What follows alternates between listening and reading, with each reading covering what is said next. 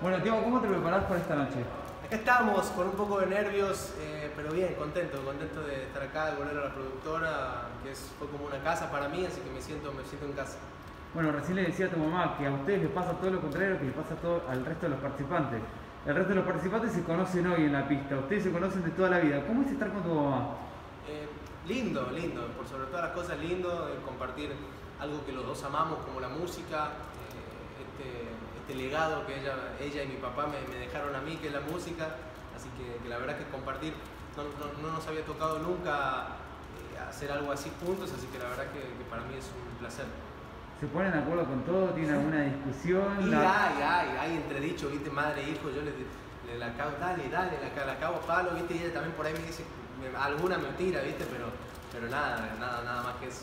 Recién te vi con un luquete en el ensayo tremendo. ¿Qué te, qué te vas a poner?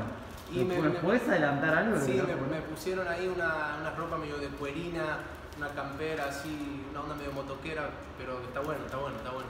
Bueno, invitamos a la gente 22.30 a aprenderse cantando. 22.30, prénganse al 13, no se pierdan el Cantando 2020 que la rompe. Vamos a dejar todo ahí, espero que la gente les guste y nos hagan el aguante.